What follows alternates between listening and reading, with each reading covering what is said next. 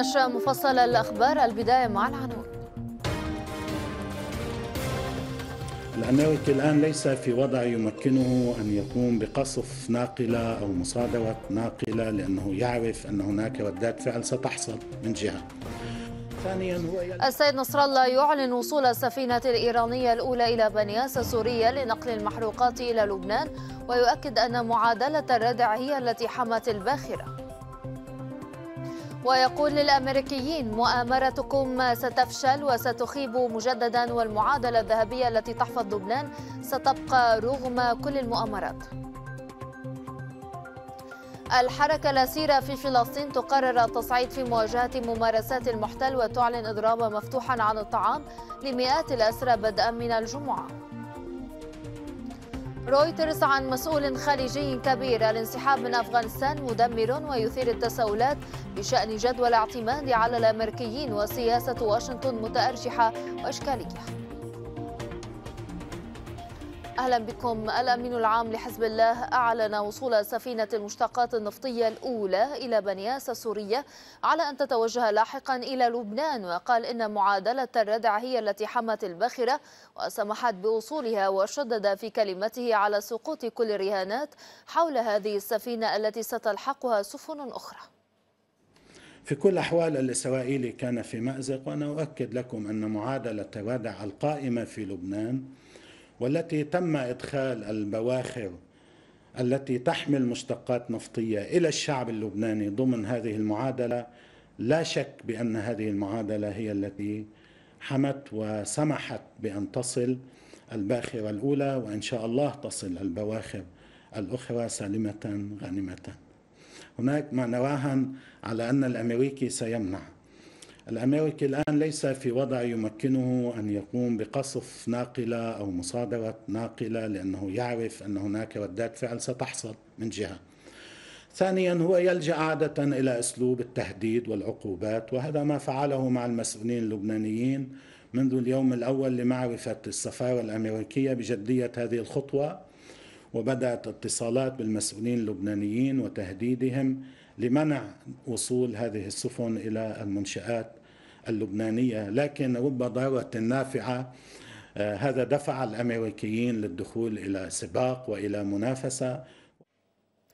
السيد نصر الله أشار إلى أن مادتي المازود والبنزين ستوزعان على كل المناطق اللبنانية ولكل اللبنانيين أن المادة هاي إن شاء الله المشتقات نفطية عندما تدخل إلى لبنان بنفس الوقت بعرض بعضه ستكون لجميع المناطق.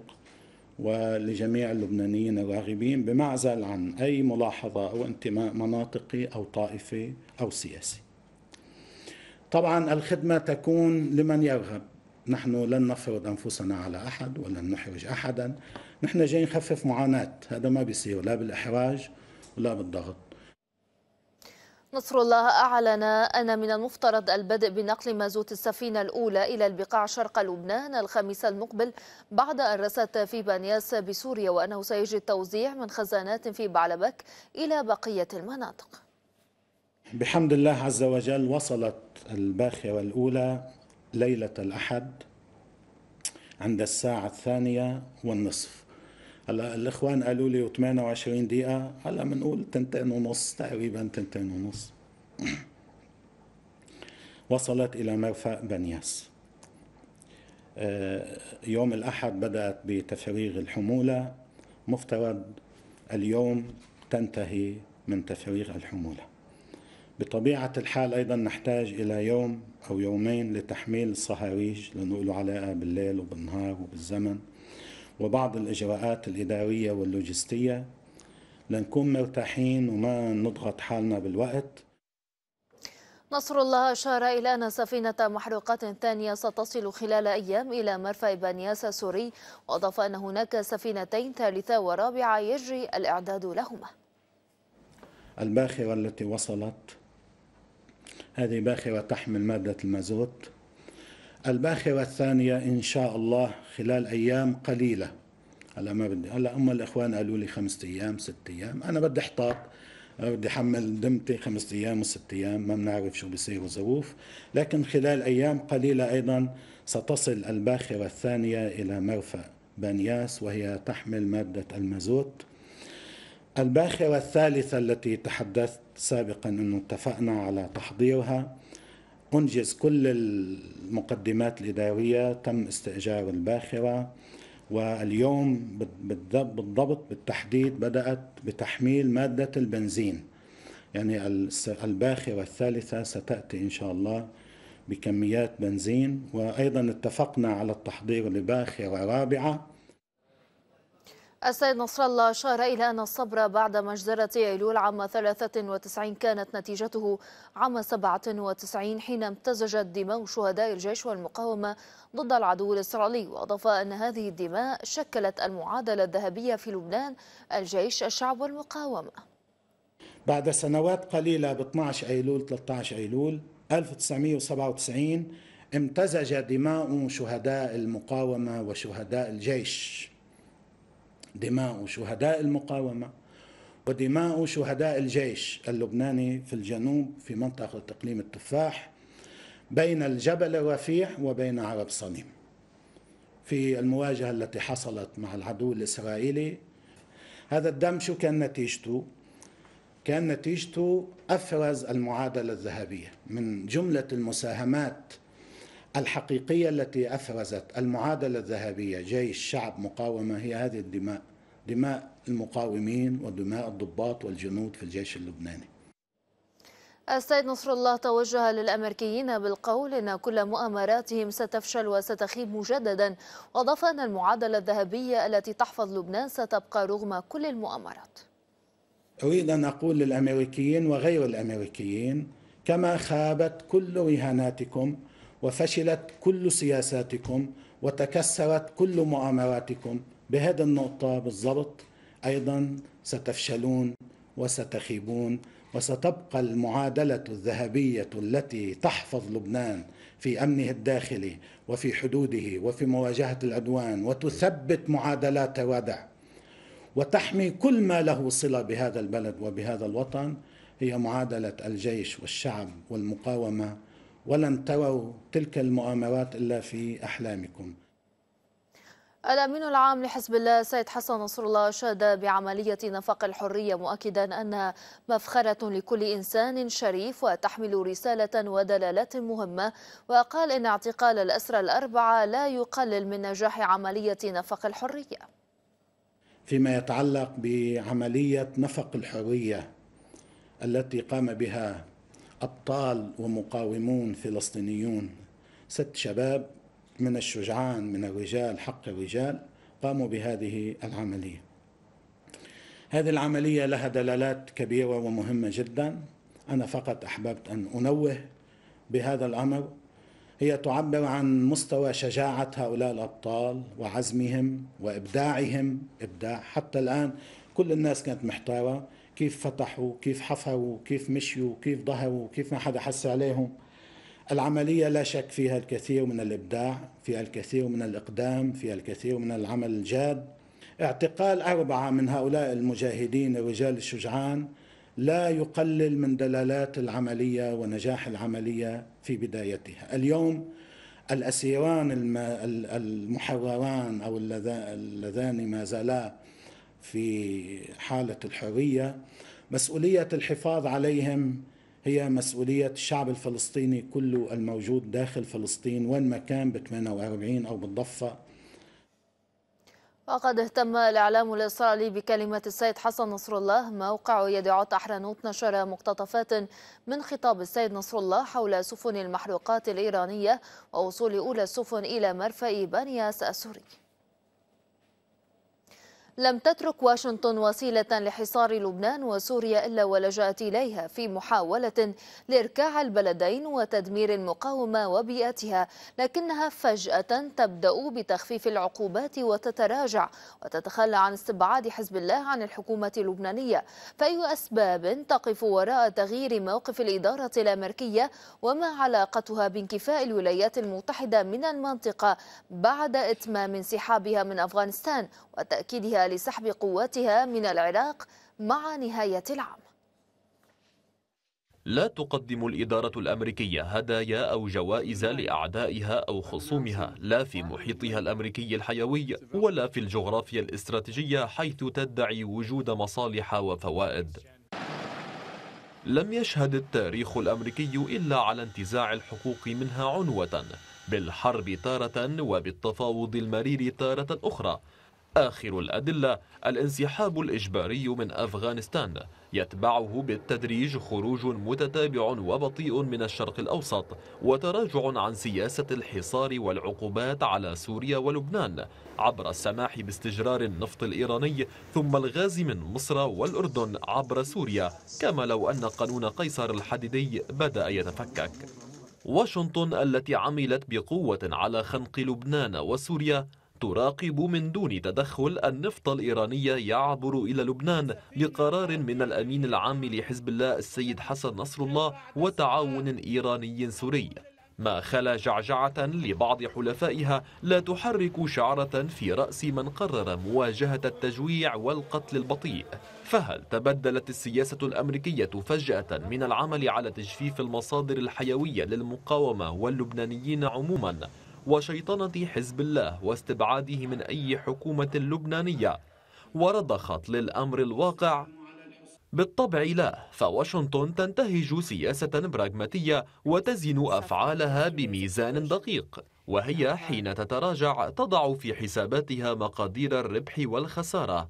سنوات طويلة من الحرب المباشرة وغير المباشرة عبر حلفائها في لبنان والمنطقة عجزت عن إركاع لبنان وسوريا فيما تنامت المقاومة وتوسعت. أمريكا باتت في طريق مسدود بحسب تحليلات استراتيجيين في السياسة الأمريكية في أوروبا وأمريكا. ومن الطبيعي أن تتخلى عن آليات فاشلة استعدادا ربما لجولة جديدة من الصراع. ينتظر أن تتضح معالمها بعد نهوض البيت الأبيض من كابوس هزيمة أفغانستان والفشل الذريع في كل من سوريا والعراق.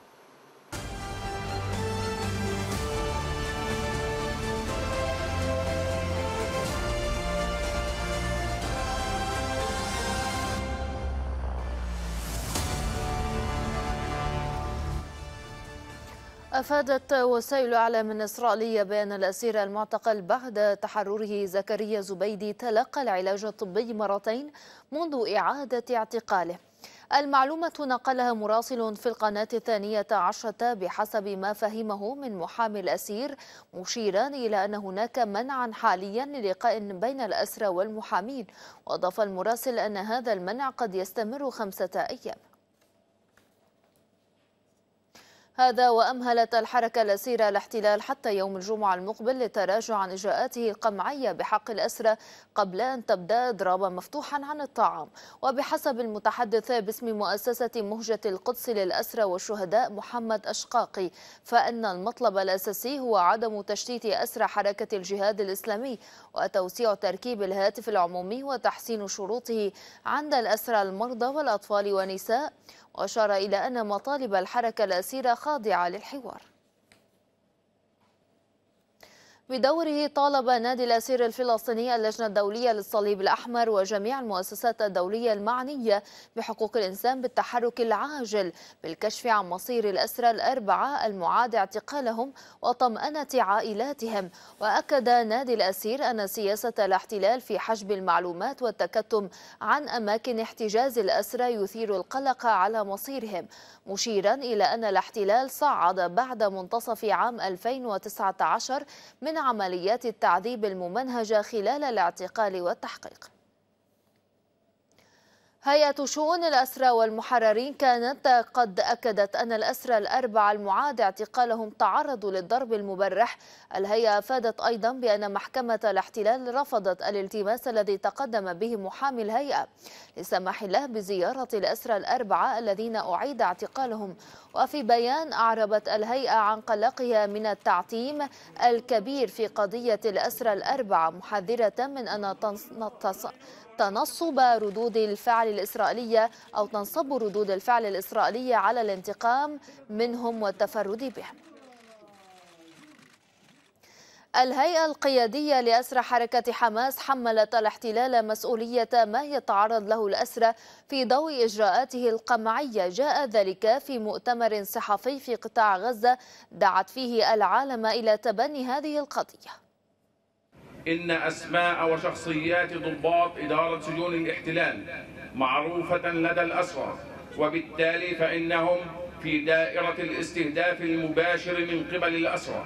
إن الحركة الأسيرة ماضية في الإعداد والاستعداد لخوض معركتهم الاستراتيجية المرتقبة في حال أصرت إدارة السجون على إجراءاتها القمعية.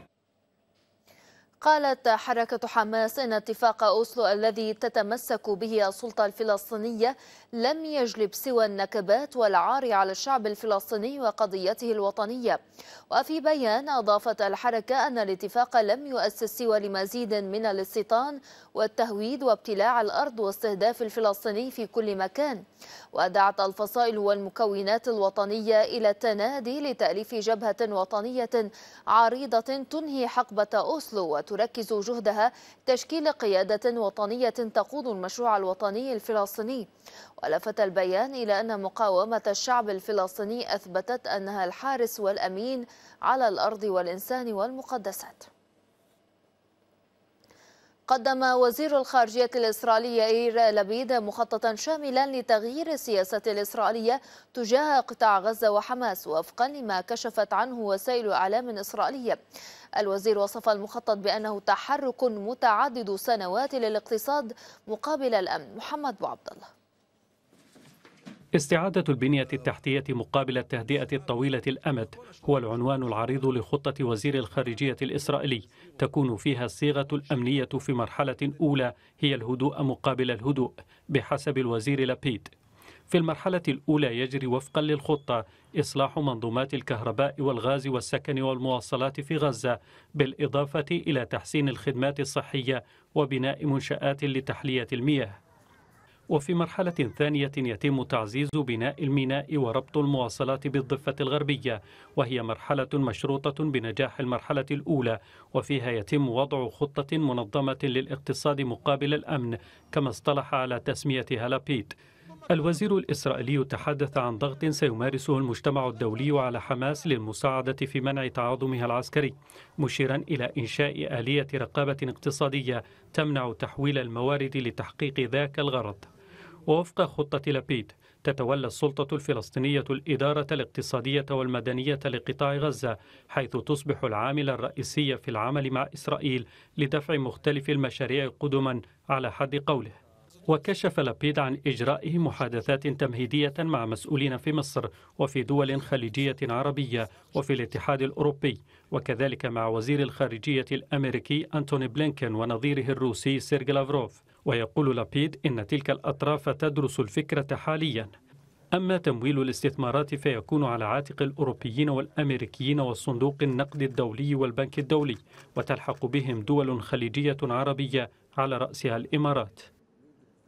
استشهد شاب فلسطيني لدى إطلاق قوات الاحتلال النار عليه بذريعة تنفيذ عملية طعن في محطة الحافلات غرب القدس المحتلة. ووفق الإعلام الإسرائيلي فإن عملية الطعن أدت إلى إصابة شخصين وعدد آخر بحالة هلع. قائد ما يسمى لواء القدس في شرطة الاحتلال تحدث عن حالة تصعيد.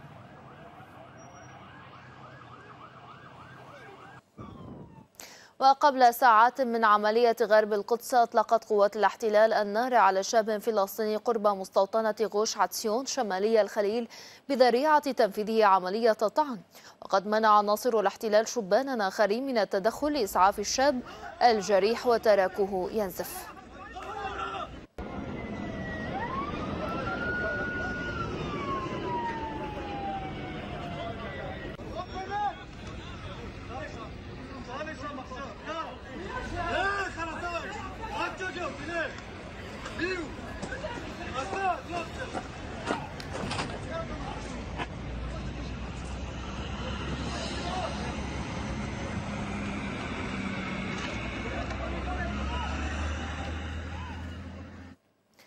الناطق باسم حركة حماس عبد اللطيف القانوع قال إن تصاعد وتيرة عملية الطعن في القدس المحتلة يأتي في إطار انتفاضة الحرية التي أطلقها الشعب الفلسطيني للتضامن مع الأسرى الأبطال. وقال القانوع أن الأسرى ليسوا ورقة ضعيفة أمام السجان الإسرائيلي لينفرد بهم بل خلفهم شعب بأكمله سيواصل انتفاضة الحرية لإسنادهم وإنهاء معاناتهم.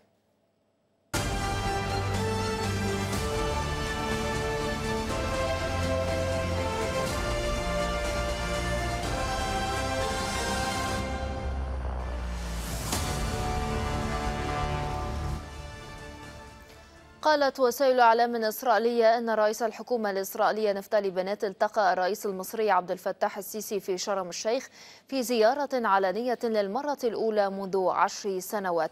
موقع آي 24 نيوز الإسرائيلي أشار إلى أن المصريين حرصوا على إنجاح الزيارة لافتا إلى أن اللقاء تناول قضية التوصل إلى تهدئة في قطاع غزة وتجنب أي تصعيد جديد إضافة إلى الرغبة المصرية في تقوية السلطة الفلسطينية وفق ما أشار الموقع. في موقف لافت نقلت رويترز عن مسؤول خليجي كبير تشكيكه في جدوى الاعتماد على الأمريكيين بعد انسحابهم من أفغانستان والذي وصفه بالمدمر جدا.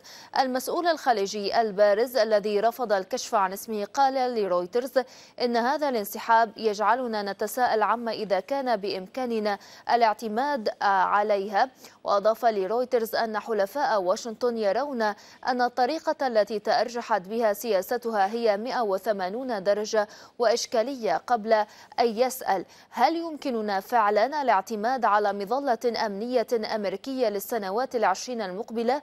وأضاف أفغانستان زلزال بل زلزال مدمر. سيبقى معنا لفترة طويلة جدا جدا قبل أن يتابع قائلا. إن حلفاء واشنطن العرب يخشون أن يصبح للمتشددين موطئ قدم في أفغانستان وأن يوجه الانسحاب الأمريكي رسالة للمتشددين في العالم. العالم. مفادها أن كل ما عليهم فعله هو مواصلة القتال. ومعنا من واشنطن مدير مكتب الميدين منذر سليمان منذر أهلا بك. بداية يعني فعلا موقف لافت فعلا هناك تخوف خليجي واضح من إزالة الغطاء الأمريكي. التشكيك أيضا في مدى إمكانية الاعتماد على الأمريكيين وكيف يمكن اليوم أن نقرأ هذا الموقف وخلفياته وتداعياته لاحقا.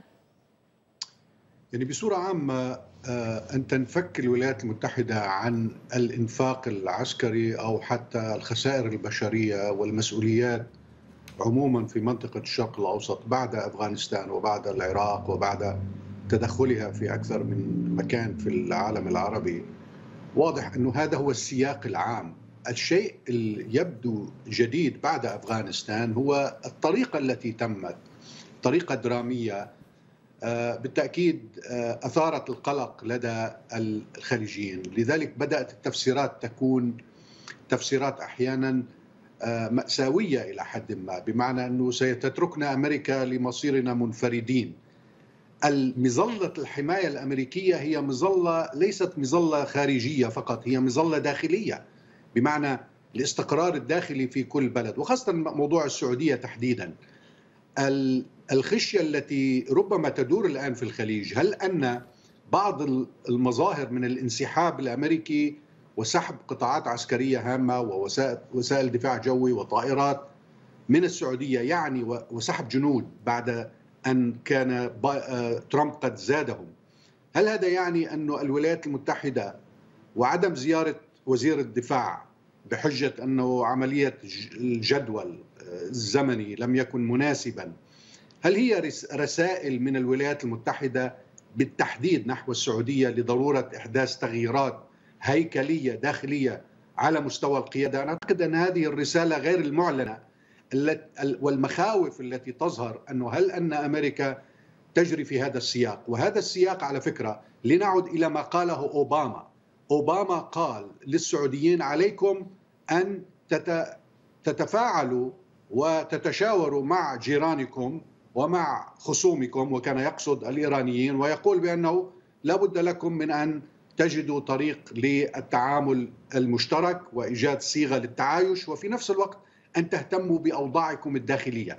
إدارة بايدن هي بشكل ما امتداد ولكن مع أحداث 11 سبتمبر أيضا الهجمات و15 سعودي والإفراج عن وثيقة سرية لمكتب التحقيق الفيدرالي توجه بعض الاتهامات وإن كان بشكل غير يعني جلي أو قاطع نحو بعض المسؤولين السعوديين الذين تفاعلوا أو تعاملوا أو عملاء للسعوديه تعاملوا مع نعم. بعض منفذي الهجمات كل هذا المناخ يؤدي إلى الانطباع بأنه هناك خشية من أن تسحب أمريكا مظلتها الأمنية عن هذه الدول وخاصة السعودية. نعم منذر ابقى معنا سأعود إليك. دافع وزير الخارجية الامريكي أنتوني بلينكن عن قرار الانسحاب من أفغانستان وكشف بلينكن أمام مجلس النواب الأمريكي أن الرئيس جو بايدن كان أمام خيارين إما إنهاء الحرب أو التصعيد ولم يكن هناك أي دليل على أن بقاء القوات في أفغانستان لمدة أطول ستكون له فائدة. مؤكدا أن الانسحاب الطارئ فرضه انهيار قوات أو انهيار قوات الحكومة الأفغانية أمام طالبان إذا سأعود إليك مدير مكتب الميدين منذر سليمان. منذر يعني هي أول جلسة استماع لمسؤول كبير في إدارة جو بايدن أمام الكونغرس لمناقشة الانسحاب الأمريكي من أفغانستان. إذا أردنا أن نحلل كلام بلينكن فعلا هل هناك مصداقية؟ ما هي أهم النقاط التي تناولها في كلمته؟ وما هو موقف الجمهوريين الآن؟ بلينكن وكل الإدارة تضع اللوم على الحكومة الأفغانية السابقة وعلى القوات الأمنية والعسكرية وكان هناك اعتقاد بأنها ستصمد ستة أشهر من الآن وفي أسوأ الاحتمالات لثلاثة أشهر. هذا ما قاله بلينكن يعني حاول أن يبرر.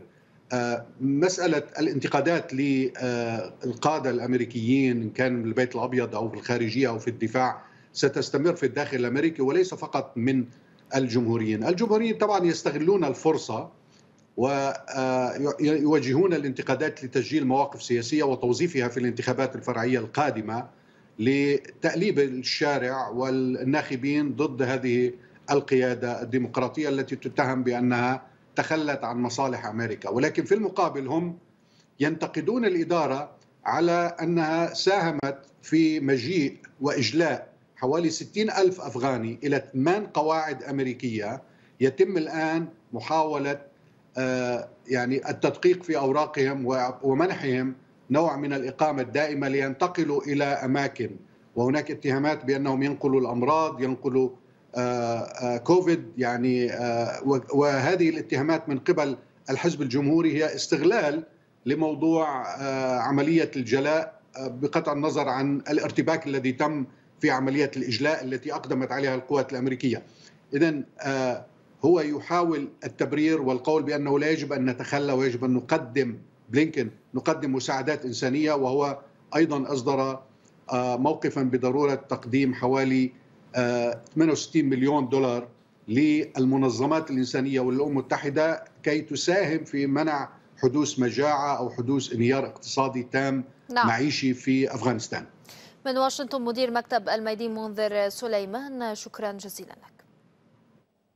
أعلن الأمين العام للأمم المتحدة أنطونيو غوتيريش الإفراج عن 20 مليون دولار لدعم العمليات الإنسانية في أفغانستان.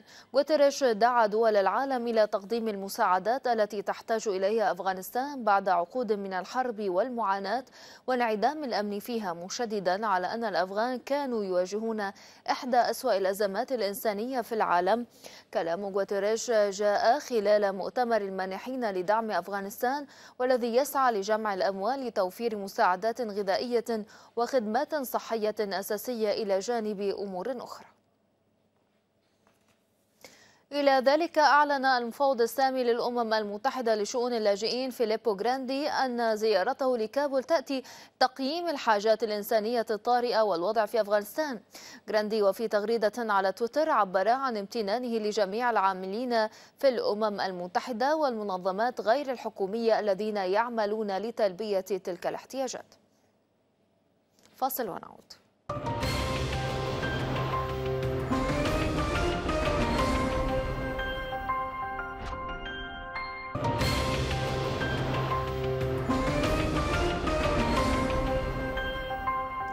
أهلا بكم من جديد أكد المتحدث الرسمي باسم القوات المسلحة اليمنية العميد يحيى سريع أن الدفاعات الجوية اليمنية أسقطت طائرة تجسسية مقاتلة من نوع وينغ لونغ 2 وفي تغريدة أشار سريع أن الطائرة تابعة لسلاح الجو السعودي وهي من صناعة صينية لافتا أن أسقطت بسلاح أو أسقطت بسلاح المناسب أثناء قيامها بمهام عدائية في أجواء منطقة كتاف بمحافظة صعدة حيث تم توثيق العملية بعدسة الإعلام الحربي.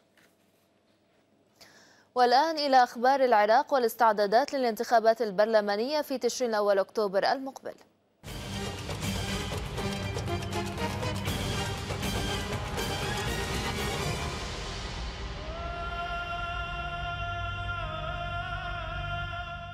أعلن رئيس هيئة الحج الشعبي فالح الفياض عودة 30 ألفا عقودهم مفسوخة عقودهم وذلك ضمن تخصيصات الهيئة. مشيرا إلى أن البرلمان العراقي لم يخصص أي أموال لهم لحسابات سياسية وأعرب عن أمله في أن تحل الحكومة مشكلة المتبقين من المفسوخة عقودهم. اليوم ونحن من موقع الاعتذار لإخواننا المفسوخ عقودهم الذين تأخرنا في حل مشكلتهم. هذا المساعي بدأت في زمن الشهيد القائد الحاج أبو مهدي المهندس. عندما كنا نسعى لتضمينهم ضمن بقية إخوانهم الذين تم استيعابهم من المفسوقة عقودهم من القوات المسلحة المختلفة ومن وزارة الداخلية. والهيئة والحمد لله بسواعد أبنائها وبإمكاناتها الذاتية قدمت عدة مقترحات لحل هذه المشكلة إلى أن وصلنا إلى الصيغة النهائية التي أسهم الأخ السيد رئيس الأركان والأخ السيد مدير المالية في هيئة الحشد الشعبي وبقية كوادر الهيئة في السهر والعمل من أجل إنجازها في أسرع وقت. أكد رئيس ائتلاف دولة القانون في العراق نور المالكي أن الحشد الشعبي أحبط المؤامرة الكبرى التي حيكت ضد العراق مشيرا إلى أنه لولا لتغيرت المنطقة. وخلال لقاء متلفز أضاف المالكي أنه يرفض أي محاولة لإضعاف الحشد أو دمجه. بالنسبة للحشد لنا معه قصة وللحشد مع العراق قصة. لولا الحشد لكنا في وضع آخر. ولولا أن الله سبحانه وتعالى وفقنا لإطلاق الصيحة والدعوة للناس وللمواطنين والفصائل والمسلحين أن يذهبوا إلى جبهات القتال لكادت المؤامرة الكبرى التي حيكت ضد العراق لأسقطت كل شيء بل لغيرت المنطقة تماما. فجاء الحشد وكانت صرخة الحشد وصولة الحشد إلى جنب إخوانه بالقوات المسلحة. هي التي أنقذت العراق وهي التي أثبتت أن الشعب العراقي حي وبإمكانه أن يواجه التحديات. الذي أعطى هذا العطاء وقدم هاي الشهداء وأوقف هذه المؤامرة الكبرى مساهما مع بقية إخواننا من القوات المسلحة هل من المعقول أن نفرط به ندمجه أو نلغيه أو نضعفه؟ أنا ضد أي محاولة إضعاف حشد أو دمجة بل أنا مع ووقفت إلى جنب القانون الذي يقول أريد الحشد يكون مثل مؤسسة جهاز مكافحة الإرهاب.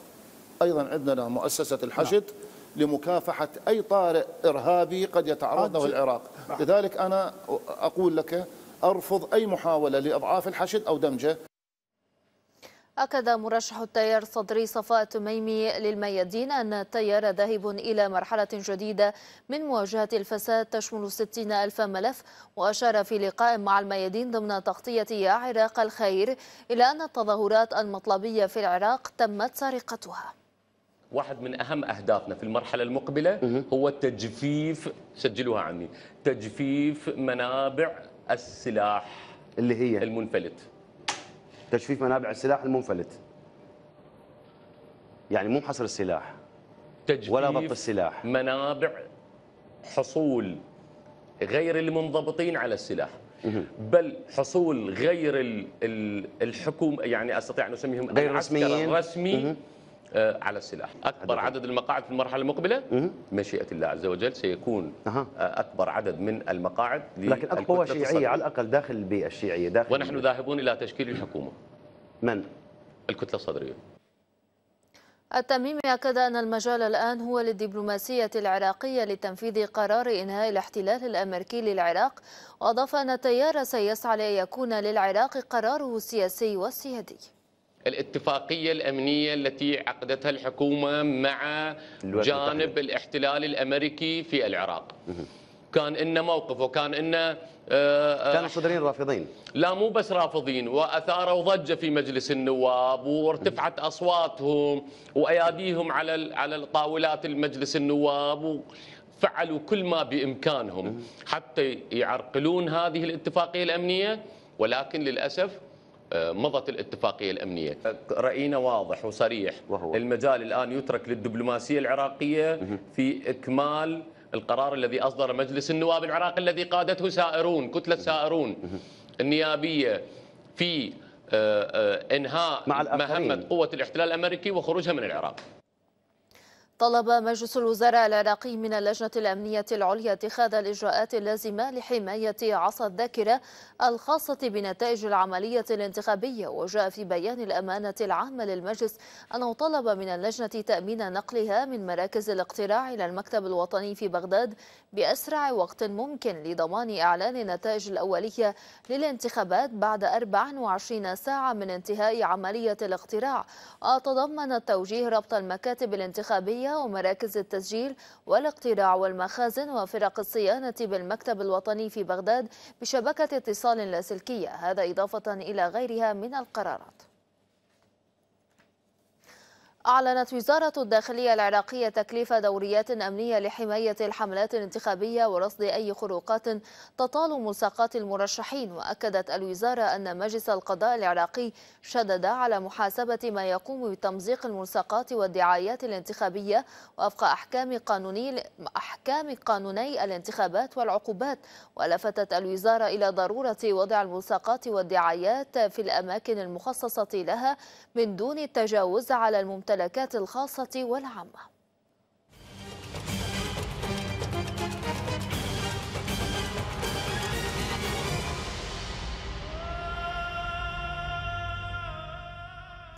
دخل الجيش السوري بلدة اليدودة شمال غرب درعا ضمن اتفاق تسوية جديد. الاتفاق تضمن تسوية أوضاع نحو 200 شخص وتسلم عشرات البنادق والقواذف والقذائف المتوسطة وتفعيل مؤسسات الدولة محمد الخضر. بلدة اليادودة إلى الشمال الغربي من درعا على طريق التسوية من جديد. اتفاق يلي اتفاق التسوية في أحياء درعا البلد ويزيد من مساحة الأمان في منطقة تفتح الطريق باتجاه مزيريب وطفس شمالا وتل شهاب غربا والحدود السورية الأردنية جنوبا. طبعا إن شاء الله تعالى كل ريف درعا بنفس اليادودي نفس قرية اليادودي، اليادودي بوابة محافظة درعا، فبالتالي أخي والله ما بوجد فيها إلا كل الخير والطمأنينة والبركة بشعبها. الخطوط العريضة للاتفاق تشبه ما جرى من اتفاقات في مناطق أخرى من درعا. تسوية أوضاع الشبان من عسكريين ومدنيين تأخروا عن خدمة العلم واستلام أسلحة خفيفة ومتوسطة وتنشيط عودة مؤسسات الدولة. وخصوصا البلدية والخدمات الصحية والتعليمية إلى هذه البلدة الحيوية بموقعها. إجت الشباب وعملوا تسويات وإن شاء الله نأمل من الله الخير لهالمواطن لكرامة المواطن. بهمنا كرامة المواطن إحنا والدولة وكل الناس. إحنا بس عشنا بكرامة امورنا بخير 100% اثنين إحنا بدنا كرامة المواطن على الحاجز وبالدائره الحكومية وبالبلدية وبوين من كان يكون رافع رأسه. المواطن السوري مو سهل. خطوة أخرى على طريق معالجة ثغرات كبيرة في التسوية السابقة قبل ثلاث سنوات وإنعاش مناخات الأمان والاستقرار في الجنوب السوري بأسره محمد الخضر من اليادودة في ريف درعا الميادين. قال الرئيس اللبناني ميشيل عون إن القوى السياسية أمام مسؤولية وطنية وتاريخية كبرى لتفعيل دور الدولة ومؤسساتها واستعادة الثقة بها. وعقدت الحكومة اللبنانية جلستها الأولى في قصر بعبدة والتي شهدت تأليف لجنة وزارية لصياغة البيان الوزاري. أحمد عبد الله هو أول اجتماع للحكومة اللبنانية بكامل تشكيلتها بعد تأليفها. إثر فراغ حكومي استمر 13 شهرا. صورة تذكارية تقليدية لأعضاء الحكومة الجديدة سبقت انعقاد الجلسة. في الاجتماع وزراء يتعرفون إلى بعضهم البعض للمرة الأولى خصوصا أنهم سيتعاملون سويا لمواجهة تحديات يعرفون جيدا أنها لن تكون سهلة على الإطلاق. فالحكومة أتت في فترة تتفاقم فيها الأوضاع اقتصاديا ماليا نقديا اجتماعيا وتتراجع الظروف المعيشية للمواطنين إلى مستويات غير مسبوقة. الرئيس اللبناني ميشيل عون رأى أن المطلوب إيجاد الحلول العاجلة مطالبا الوزراء بالإقلال من الكلام والإكثار من العمل. رئيس الحكومة نجيب ميقاتي أقر أنه لا يملك عصا سحرية مؤكدا أن الحكومة ستنكب على معالجة موضوع المحروقات والدواء بما يوقف إذلال الناس. أما أهم ما خرجت به الجلسة الأولى فهو تشكيل لجنة لصياغة البيان الوزاري. قرر مجلس الوزراء تشكيل لجنة صياغة مسودة البيان الوزاري برئاسة السيد رئيس مجلس الوزراء وعضوية نائب رئيس مجلس الوزراء ووزراء العدل والطاقة والمالية والثقافة والداخلية والتنمية الإدارية والإعلام والتربية والعمل والزراعة. كتار ما هيك لا وبعدين مفتوحة اللي بيحب ينضم كمان أهلا وسهلا فيه. اللجنة الوزارية بدأت على الفور أولى اجتماعاتها في السرايا الحكومية. اجتماع جرت خلاله مناقشة مسودة البيان بشكل كامل مع وضع بعض الملاحظات. وبينما رأى وزير العمل مصطفى بيرم أن الحكومة ستأتي بلغة جديدة لمخاطبة الناس. اعتبر وزير الزراعة عباس الحاج حسن أن البيان الوزاري سيحاكي موضوع الكهرباء والدعم وكل ما طلب به الناس في الشارع. بعد تأليف الحكومة اللبنانية بدأ فصل نيل الثقة. مرحلة تتطلب إعداد بيان وزاري تنال الحكومة ثقة مجلس النواب على أساسه. بيان يضع الإطار العام لعملها في مواجهة التحديات الأساسية وعلى رأسها الأزمة الاقتصادية. أحمد عبد الله قصر بعبدة الميادين. قال الأمين العام للاتحاد العام التونسي للشغل نور الدين الطبوبي إن إهدار فرص تغيير وإصلاح البلاد تجلى في عدم مكافحة الفساد بوضوح وشفافية. وأضاف أن الاتحاد لا يعارض رؤية الرئاسة إن كانت أهدافها واضحة مشيرا إلى أنه بمنأ عن المنافسة في الترشح للانتخابات الرئاسية والتشريعية لافتا إلى أن الاتحاد سيقف إلى جانب كل سلطة ترغب في حكم البلاد ولكنه ليس حطبا للمعارك وفق تعبيره.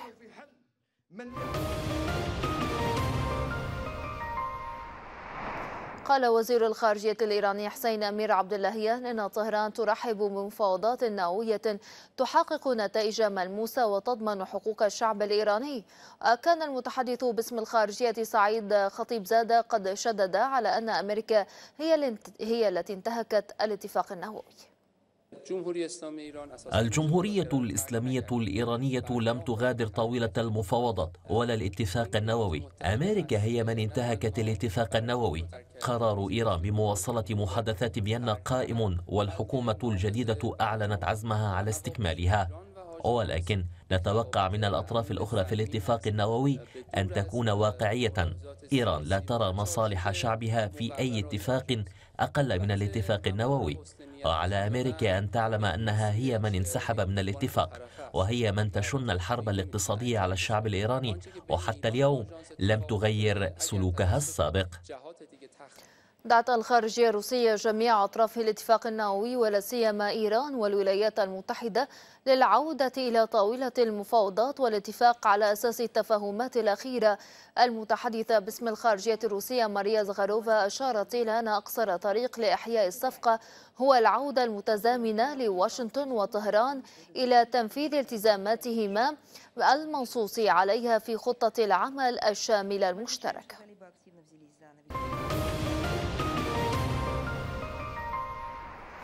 أعلن متحف القرار الثقافي في قطاع غزة عن أول إنتاج فني تراثي لفرقة كورال من الأطفال لغناء الأهازيج الفلسطينية والعزف على آلات موسيقية مختلفة كالعود والطبلة والشبابة بهدف الحفاظ على الهوية الفلسطينية.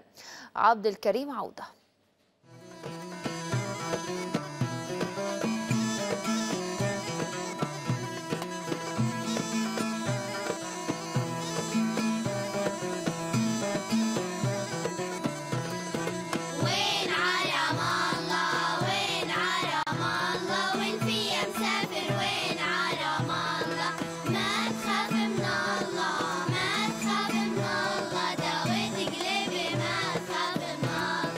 إحنا هنا فرقه الكورال آه، بأسس الأطفال على الاغاني التراثية عشان نوصل صورة للعالم إنه تراثنا وهويتنا محفوظة. بدربهم على الأغاني التراثية مثل آه، أغنية آه، يا وين عرم الله يا زريف الطول يا زارعين السمسم.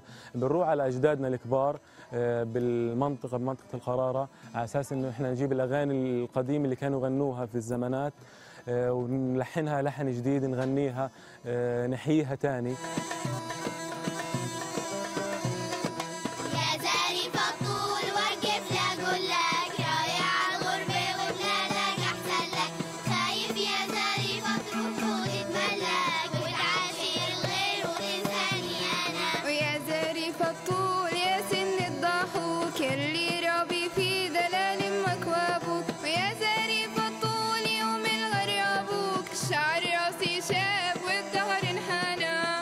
الهدف من تأسيس فرقة الكورال إنه إحنا بدنا نعزز الثقافة الفلسطينية والأهازيج الفلسطينية والتراث الفلسطيني عند الأطفال لأنه إحنا الحرب اللي بيننا وبين بين إسرائيل هي مش حرب سياسية فقط آه، صارت الحين حرب ثقافية. توب الفلسطيني بنسبوه إلهم. فترة من فترات الأكلات الفلسطينية صاروا ينسبوها إلهم. لما تيجي إسرائيل إنه تقول إنه الأغاني هذه إلنا طفل بكون واعي ومدرك الوضع اللي هو فيه فبقول لا إنه إحنا الأهازيج هذه إلنا الأغاني هذه إلنا التراث هذا إلنا. بسك تيجي حارتنا يا عيوني وتلفت حوالينا. الله الله. مبسوطة كثير إني بفرقة كورال المتحف إني بحفظ أغاني تراثية. بطمح لما أكبر أوقف على دار الأوبرا العالمي ونغني تراث فلسطيني ويعرفوا كل الناس إنه هذا تراثنا وهويتنا. على دلعونا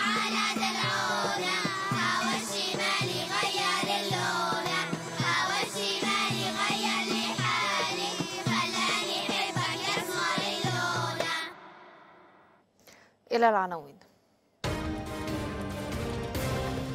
الأمريكي الآن ليس في وضع يمكنه أن يقوم بقصف ناقلة أو مصادرة ناقلة لأنه يعرف أن هناك ردات فعل ستحصل من جهة. السيد نصر الله يعلن وصول السفينة الإيرانية الأولى إلى بنياس سوريا لنقل المحروقات إلى لبنان ويؤكد أن معادلة الردع هي التي حمت الباخرة.